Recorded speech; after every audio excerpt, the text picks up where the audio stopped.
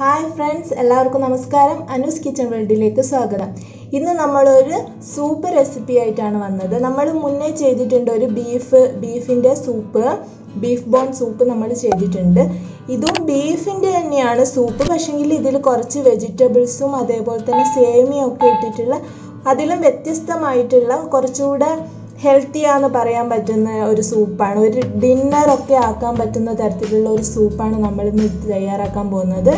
അപ്പോൾ നമുക്ക് എങ്ങനെ ഈ സൂപ്പ് തയ്യാറാക്കുന്നതെന്ന് നോക്കാം. അപ്പോൾ നമ്മൾ സൂപ്പ് ഉണ്ടാക്കാൻ ആദ്യമായിട്ട് ഒരു മിക്സിയുടെ ജാർ എടുത്ത് അതിലേക്ക് ഒരു കാൽ ടീസ്പൂൺ നല്ല ജീരകം ഒരു ടീസ്പൂൺ വലിയ ജീരകം ഒരു ടീസ്പൂൺ കുരുമുളക്.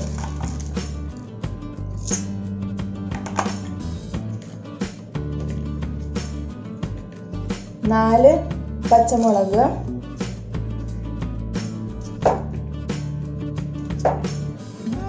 ആറ് വെളുത്തുള്ളി.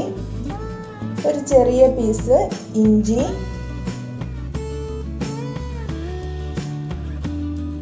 ഒരു ടീസ്പൂൺ മല്ലിപ്പൊടി. മല്ലിപ്പൊടിയോ ഹോൾ മല്ലിയോ എടുക്കാം. മൂന്ന് വറ്റൽ മുളക് വറ്റൽ മുളക് ഇല്ലാന്നുണ്ടെങ്കിൽ മുളക് പൊടി ചേർത്താലും മതി. ഇതൊക്കെ ഒന്ന് നമുക്ക് അരച്ചെടുക്കാം. ഇനി നമുക്ക് കുക്കർ വെച്ച് അതിലേക്ക് നമ്മളിത് ബീഫ് എടുത്തിട്ടുണ്ട്. ഇത് ബീഫിന്റെ എല്ല് മാത്രമാണ് ഇത് ചേർത്ത് കൊടുക്കാം. നന്നായിട്ട് കഴുകി വൃത്തിയാക്കിയ എല്ലിന്റെ പീസ് ഇട്ട് കൊടുക്കാം. ഇതിപ്പോൾ അര കിലോന്റെ അടുത്ത് വരും കേട്ടോ നിങ്ങൾക്ക് ആവശ്യത്തിനുള്ള എടുക്കാം. മീറ്റ് വേണമെന്നുണ്ടെങ്കിൽ മീറ്റും ഇടാം കുഴപ്പമൊന്നുമില്ല.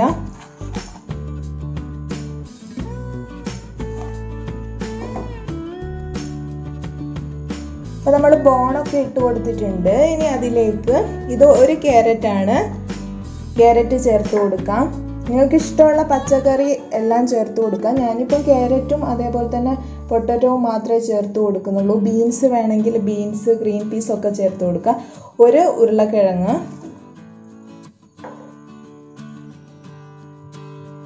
ഇനി ഒരു ചെറിയ സവാളയാണ്.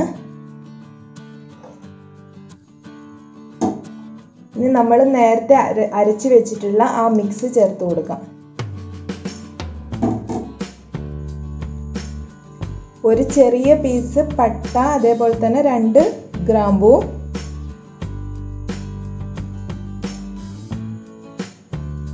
ആവശ്യത്തിന് ഉപ്പ് ചേർത്ത് കൊടുക്കാം. ഇനി ഇതിലേക്ക് വെള്ളം. വെള്ളം ചേർക്കുമ്പോൾ കുറച്ചധികം ചേർക്കാൻ എന്താണെങ്കിൽ സൂപ്പാണല്ലോ അപ്പം അതിന് വേണ്ടിയിട്ടുള്ള വെള്ളം ചേർത്ത് കൊടുക്കാം. ഇനി ഇത് മൂടി വെച്ച് ഒരു എട്ട് ഒമ്പത് വിസിലെടുക്കാം. കാരണം ഈ ബോണിലുള്ള ഉള്ളിലുള്ള സത്തൊക്കെ ഇറങ്ങി വരണമെന്നുണ്ടെങ്കിൽ അത്രയും ടൈം എന്തായാലും എടുക്കും. അപ്പോൾ നമുക്കൊരു ഒമ്പത് വിസിൽ എടുത്തതിന് ശേഷം ഓപ്പൺ ചെയ്ത് നോക്കാം. അപ്പോൾ ഒമ്പത് വിസിലൊക്കെ കഴിഞ്ഞിട്ടുണ്ട്. വിസിലൊക്കെ നന്നായി പോയിട്ടുണ്ട്. നമുക്കിപ്പോൾ തുറന്ന് നോക്കാം. നന്നായി വെന്ത് വന്നിട്ടുണ്ട്. ഇനി നമ്മൾ ഇതിലേക്ക് ഒരു സാധനം കൂടെ ചേർത്ത് കൊടുക്കുന്നുണ്ട്. ഇത് സേമിയ വേവിച്ചതാണ്.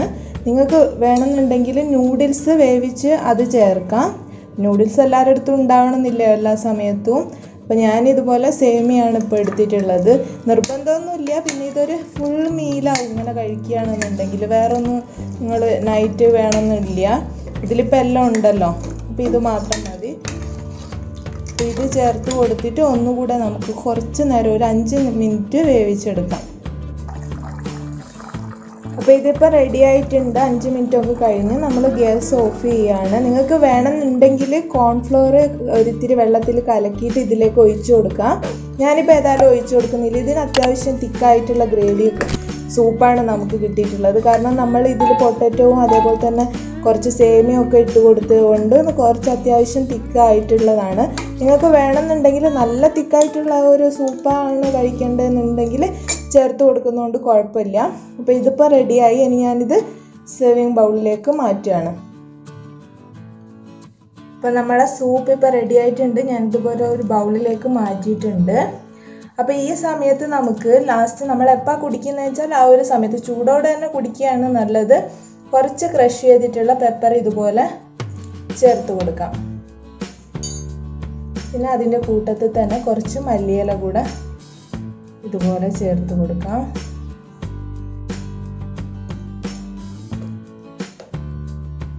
പിന്നെ ഒരു ചെറിയൊരു പീസ് ഇത് നെയ്യാട്ടോ ഫ്രിഡ്ജിൽ വെച്ചുകൊണ്ട് ഇങ്ങനെ ഇരിക്കുന്നതാണ്. അപ്പം നെയ്യ് കൂടെ ചേർത്ത് ഒന്ന് മിക്സ് ചെയ്ത് കൊടുക്കാം. അപ്പം നിർബന്ധമൊന്നുമില്ല. നല്ല എണ്ണ അല്ലാതെ തന്നെ ഉണ്ട് ഇതിൽ അപ്പോൾ വേണമെങ്കിൽ മാത്രം ചേർത്ത് കൊടുത്താൽ മതി. അപ്പോൾ നമ്മളെ ബീഫ് വെജിറ്റബിൾ അതേപോലെ തന്നെ സേമിയ സൂപ്പ് ഇപ്പോൾ റെഡി ആയിട്ടുണ്ട്.